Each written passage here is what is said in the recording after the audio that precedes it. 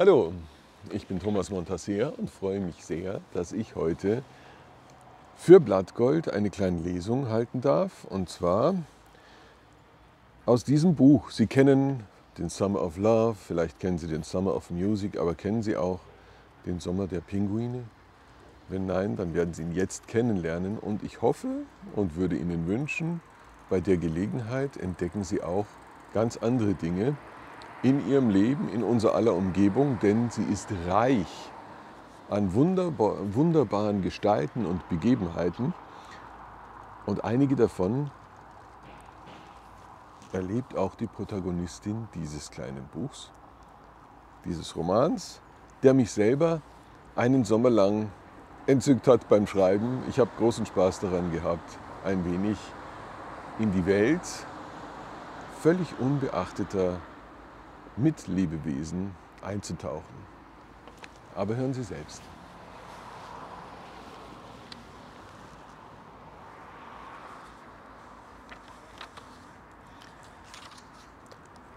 Der Sommer der Pinguine. Diese Geschichte trug sich vor nicht allzu langer Zeit in London zu. Und zwar an einem schönen Spätsommertag. Es war die sogenannte Last Night of the Proms, also jener Abend, an dem die Saison der traditionellen Promenadenkonzerte zu Ende geht und damit auch eine sehr kurze Zeit, in der sich die Londoner wie Italiener fühlen auf sehr englische Art natürlich. Genau genommen nahmen die Ereignisse ihren Anfang bereits tags zuvor, als Mrs. Annetta Robington, eine Geographielehrerin aus Great Missenden, das im Gegensatz zu seinem Namen eher ein sehr kleines Örtchen ist und übrigens wirklich existiert, auf ihrem Weg vom British Museum zum Hyde Park der Versuchung nicht widerstehen konnte, eine kleine Buchhandlung im ebenso lebhaften wie bezaubernden Stadtteil Mayfair zu betreten. Sie hatte die Entfernungen in London unterschätzt. Wer die Laufwege von Great Missenden gewöhnt ist, sieht sich in einer Stadt wie London plötzlich mit sehr abweichenden Dimensionen konfrontiert. Es war aber nicht allein die Hoffnung auf einen Augenblick des Ausruhens in der kühlen Stille eines offensichtlich gepflegten und kultivierten Lebens, es war auch die Neugier. Der Buchhändler schien ein natürliches Gespür für Mrs. Robingtons Interessen zu haben. So gut wie jedes Buch, das er in der Auslage präsentierte, hätte sich auch in Mrs. Robingtons kleiner Bibliothek befinden können. Von Darwins letzte Reise über sibirischer Sommer bis hin zu die souveräne Lehrerin. Ein seltsam vielseitiges und, wie es Mrs. Robington in den Sinn kam, als sie über die Schwelle trat, vieldeutiges Sortiment. Das Dämmerlicht des Ladens und die plötzliche Ruhe, als die Tür mit leisem Klingeln hinter ihr zusank, bewirkten ein leichtes Schwindelgefühl bei der Kundin, die wir uns als Frau mittleren Alters vorstellen dürfen, deren energischste Jahre vielleicht schon hinter, während die besten zweifellos noch vor ihr lagen. Doch das ahnte sie zu diesem Zeitpunkt freilich nicht. Aus den Augenwinkeln registrierte sie den Buchhändler, der hinter der Ladentheke und einer Kasse kaum zu sehen war, ihr aber einen freundlichen Gruß entbot genussvoll. So Mrs. Robington die nach Papier und Druckerschwärze riechende Luft ein und spürte einen leichten Kitzel in den hinteren Gehirnarealen. Hatte das jemals schon jemand untersucht? Gab es dort in der Nähe des Stammhirns eine Region, die auf den Duft von Büchern ganz besonders intensiv reagierte? Seufzend stieß sie die Luft wieder aus und bemerkte, wie sich eine angenehme Kühle über ihre nackten Arme breitete und wandte sich den Tischen und Regalen zu, auf denen all die verlockende Literatur präsentiert wurde, die ein offenbar ebenso belesener wie empathischer Buchhändler für seine Kunden in diesem entzückenden Ladenlokal zusammengestellt hatte.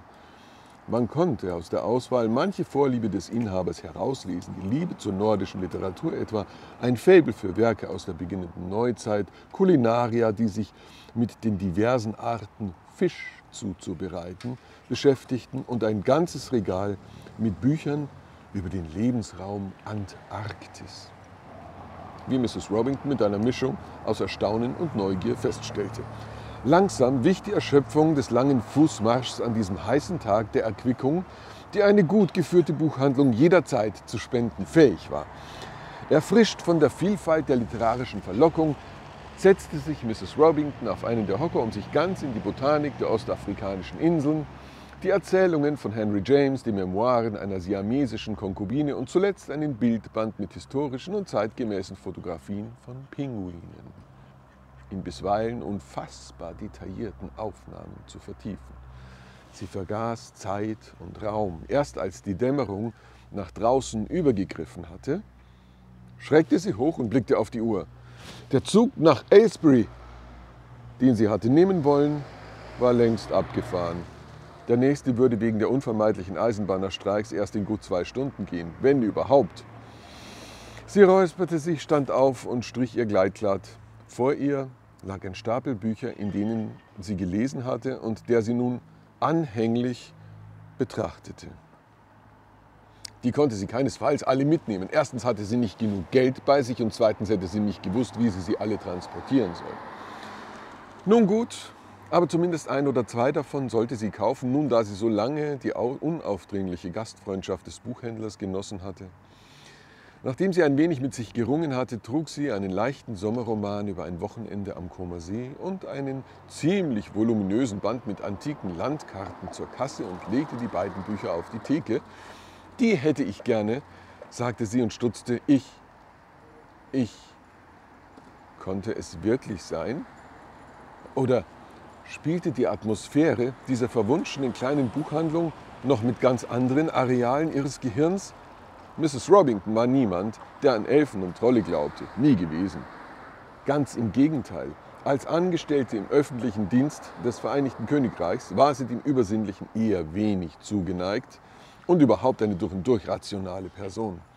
Worauf sonst hätte man ein Weltreich bauen können, wenn nicht auf die Zuverlässigkeit und den Realismus der Engländer? Und doch, was sie sah, ließ sich beim besten Willen nicht mit den Gesetzen der Wirklichkeit vereinbaren und konnte nur damit zusammenhängen, dass sich die eindrucksvollen äh, Fotografien der Bewohner von Grahamland und den südlichen Shetlands in ihre Netzhaut eingebrannt hatten. Pinguine gibt es nur am Südpol, flüsterte sie und schloss für einen Moment die Augen. Wenn sie sie wieder öffnete, würde alles verschwunden sein. Das Trugbild würde sich auflösen und dahinter würde ein netter älterer Herr sichtbar, dessen leicht angeknittertes weißes Hemd in einem dunklen Tweedjackett steckte und von eher schlecht sitzenden Fliegen mit Paisley-Muster zusammengehalten wurde. In der Tat, ein weit verbreiteter Irrtum, murmelte der Buchhändler und griff nach den beiden Werken, die vor ihm lagen. Diese hier? Wie bitte? Diese Bücher? Nein, ich meine das, was Sie zuvor sagten. Ein weit verbreiteter Irrtum. Fassungslos starrte Mrs. Robington den Buchhändler an. Ein Scherz, nichts weiter, erklärte er. Doch die zarten Federn seiner Brauen zitterten bei diesen Worten und das tiefe Schwarz seiner Augen schien ihren Blick zu fliehen. Aber Ihr Federkleid, stotterte die Lehrerin und deutete unsicher auf seine Brust. Alfred Twickenham Schneider in der achten Generation, Savile Row 14. Und die Spitzen an den Ohren? Johnsons Haircut, 12,50 Pfund ohne Trinkgeld. Der Buchhändler klopfte auf die Bände, die immer noch vor ihm lagen. Sie zahlen bar? Gewiss, hauchte Mrs. Annetta Robington, die es nicht glauben mochte, doch die ebenso souveräne wie trockene Reaktion des Gentleman ließ ja wohl keinen Zweifel daran, dass ihr Geist ihr einen Streich gespielt hatte, dass sie ihre eigenen Fantasie erlegen war. Sie lächelte entschuldigend und reichte dem Pinguin eine 20-Pfund-Note, verzichtete auf das Wechselgeld und verließ den Laden mit sehr gemischten Gefühlen. Als die Tür hinter ihr zuschwang, blickte sie noch einmal zurück und betrachtete den alten Mann hinter seiner Kasse. Eine eigenartige Besorgnis schien sich in seiner Miene wiederzuspiegeln. Ein kummervoller Zug lag über seiner Stirn und seinem Schnabel. Antike Landkarten laden dazu ein, die Welt mit den Augen unserer Vorfahren zu sehen. Länder, Städte und Flüsse. Meere lernen wir unter fremdartig klingenden Namen kennen. Mittelpunkte, Achsen und Dimensionen erscheinen in ganz anderem Licht. Jerusalem ist vielfach der Nabel der Welt. Indien und die britischen Inseln gleichen sich in ihrer Größe. Und Brasilien hat die Form eines spanischen Fächers oder wahlweise einer prallen Papaya. Stundenlang konnte Mrs. Annette Robington sich in der Betrachtung solcher historischer Aufzeichnungen verlieren. Während ihre übrigens sehr zarten Fingerspitzen sacht über die faksimilierten Holzschnitte, Stiche und Radierungen glitten, lasen ihre Lippen lautlos die geheimnisvollen Bezeichnungen von Bergen und Tälern, Regionen, Völkern und Stämmen. Und aus einem südländischen Spätnachmittag wurde ein britischer Abend. Die Bäume des Hyde Parks hatten die Sonne verschluckt und den Mond an den noch milchigen Himmel geschickt, der über den Laternen stand und fragend auf die Besucherin aus Great Missenden herabblickte. Unwillkürlich ergriff ein Schaudern unsere Heldin. Wie spät mochte es sein? Halb sieben? Sieben? Es war, wie sie beim Blick auf die Armbanduhr, die sie von ihrer Mutter geerbt hatte, feststellte, halb acht. Normalerweise kein Problem mit den Chiltern Railways, wegen der seit Wochen dauernden Streiks aber an jenem Tag zu spät für einen Zug nach Hause. Mrs. Robington gehörte nicht zu den Menschen, die sich über Dinge grämten, die sie nicht ändern konnten. Im Altertum wäre sie vermutlich Stoikerin geworden so hatte sie sich dafür entschieden, jungen Menschen ein Bild von der Welt beizubringen, was letztlich auf das Gleiche hinauslief. Da nun also Great Missenden an diesem Abend nicht mehr zu erreichen sein würde, musste sie wohl oder übel die Nacht in London verbringen. Sie klappte die Karte des Achämenidischen Imperiums zusammen, um sich auf die Suche nach einer Herberge zu machen als ihr wieder der Buchhändler in den Sinn kam. Ja, mehr noch, sie sah ihn geradezu vor ihrem inneren Auge so deutlich, als stünde er vor ihr in seinem Anzug von Alfred Twickenham und mit seinem Haarschnitt von Jensens. Doch vermochte solcherlei Ausstattung einen Menschen zum Ebenbild eines Pinguins zu machen? Wäre nicht dieser besorgte Blick gewesen, den er ihr hinterhergeschickt hatte, vielleicht hätte Mrs. Annetta Robington es für eine Laune ihres allzu angeregten Geistes gehalten, zwischen all den Büchern im Duft des Ladens an diesem warmen Spätsommerabend, an dem sie vielleicht etwas zu viel gelaufen war und etwas zu wenig gegessen hatte.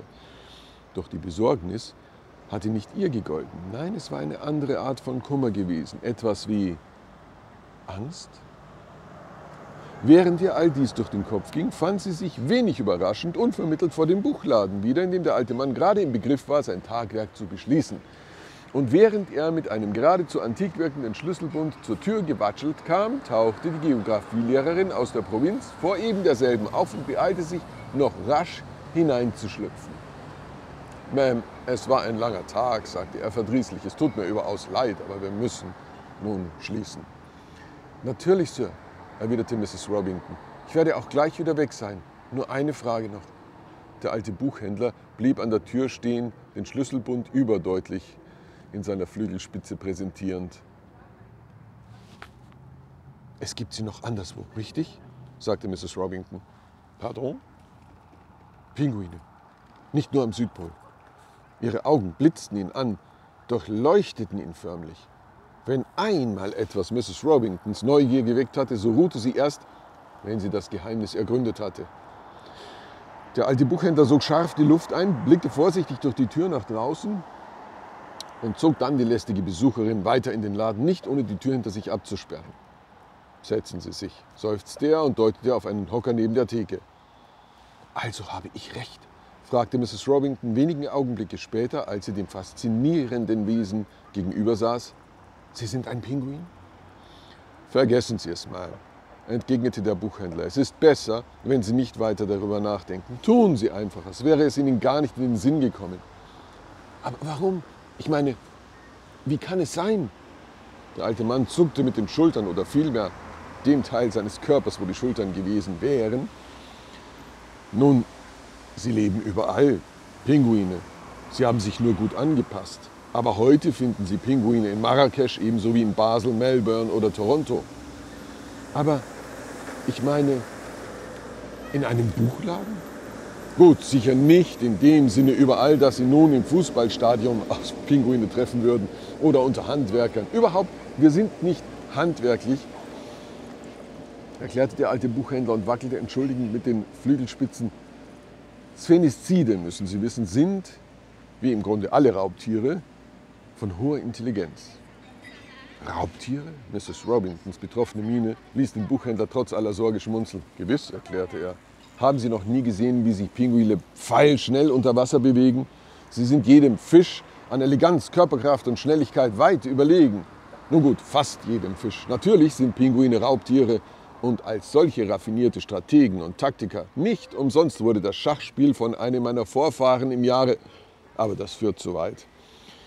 Jedenfalls hat das zur Folge, dass sich die Sphenizide vor allem in den äh, intellektuellen Disziplinen, in Kultur und Politik besonders verbreitet haben. Sie finden heute kaum noch einen Atomphysiker, der nicht schon unter den Füßen seines Vaters hochkomplexe Gleichungen gelöst oder entworfen hat.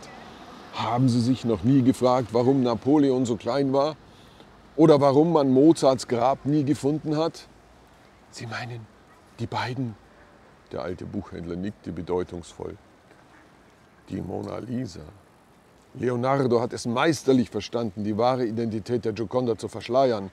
Der zarte Schleier ist natürlich ein Symbol, das geheimnisvolle Lächeln. Die Mona Lisa war eine Sphinxie, hauchte Mrs. Robington und Leonardo am Ende auch? Nein, der Buchhändler winkte ab. Er war nur ein Mensch. Wenn auch ein ganz besonderer, da sind sich Menschen und Pinguine ausnahmsweise einig. Entschuldigen Sie, wenn ich so aufdringlich bin, sagte Mrs. Robington und blickte verlegen zu Boden. Aber das alles verblüfft mich über die Maßen und ehrlich gesagt, die Brauen des alten Buchhändlers hoben sich belustigt. Ehrlich gesagt was? Ehrlich gesagt können Sie es nicht so recht glauben? Die Lehrerin vom Lande zögerte. Ich finde nur, nun ja, Pinguine, die gibt es doch vor allem im Zoo. Sie nickte. Auch der alte Buchhändler nickte. Verstehe, sagte er. Und Sie denken, wenn Pinguine sprechen könnten, würden sie nicht im Zoo landen? Ist es nicht so? Nun, es ist eine zutiefst menschliche Betrachtungsweise. Sehen Sie es doch einmal umgekehrt. Wenn Sie sich an den Südpol entführt fänden, könnten Sie dann mit den dort lebenden Arten kommunizieren? Äh, nein, ich nehme an, das könnte ich nicht. Eben, die Pinguine, die Sie in den menschlichen Zoos finden, stammen alle aus ihrem natürlichen Habitat oder sind von der menschlichen Gesellschaft abgeschottet, in Gefangenschaft, unter ihresgleichen aufgewachsen. Man hat sie verschleppt und isoliert gehalten. Einige wenige haben es dennoch geschafft, eine menschliche Sprache zu lernen. Doch das hört und versteht natürlich nur der jeweilige sogenannte Tierpfleger. Wenn er sich dann mit den Tieren unterhält, als sei es das Normalste von der Welt, dann hält man ihn für ein Genie. In Wirklichkeit sind es die gefangenen Pinguine, die durch ihr Sprachtalent eine schier unüberwindbare Mauer durchbrochen haben. Und das ist auch der Grund, weshalb sie dies alles, unser Gespräch, ihre Beobachtungen, ihre Schlussfolgerungen und alles dringend schnellstens vergessen sollten. Es ist zu gefährlich. Nicht für Sie natürlich, aber für mich und für meine Artgenossen. Damit zückte der alte Mann wieder seinen Schlüsselbund und deutete zur Tür. Es war nicht zu übersehen, dass er aufgewühlt und das Thema nicht weit weiter zu verfolgen gewillt war. Mrs. Annetta Robington stand auf und nickte. Ich verstehe, was Sie mir sagen wollen, Sir, flüsterte sie, und es tut mir sehr leid, was mit Ihren Artgenossen geschehen ist. Ich kann mich nur im Namen der Menschheit für das Unrecht entschuldigen. Der alte Buchhändler seufzte und schenkte ihr einen gütigen Blick. Das müssen Sie nicht, Ma'am. Das müssen Sie nicht. Ich weiß auch gar nicht, ob die Menschheit Ihnen das nötige Mandat dazu erteilen würde. Mrs. Robington musste lachen. Der gute Mann war wirklich nach ihrem Geschmack. Verraten Sie nur, mir nur eines, sagte sie. Wie gelingt es Ihnen, zwischen all den Menschen unerkannt zu leben? Ist das nicht offensichtlich? fragte der Buchhändler. Die meisten Menschen sehen nur, was sie erwarten. Aber die Welt ist doch viel mehr als nur das Erwartbare, nicht wahr? Aber ich habe Sie doch auch erkannt, erwiderte Mrs. Robington wenig überzeugt. Nun, Sie sind eben eine Ausnahme. Eine Feststellung, der nicht gut zu widersprechen war. Einen Moment musterte der Buchhändler die Kundin mit kaum verhohlener Suffisanz, dann wandte er sich um und griff aus einem Fach hinter der Theke ein Exemplar des, übrigens auch antiquarisch so gut wie nicht mehr erhältlichen Klassikers Die Entdeckung des Menschen von P.G. Iceberger. Wenn Sie erlauben, würde ich Ihnen dieses Buch hier gerne ans Herz legen, sagte er und reichte es Mrs. Robington. Mit einer Mischung aus Neugier und Zurückhaltung nahm sie es in die Hand und schlug es auf. Menschliches, allzu Menschliches.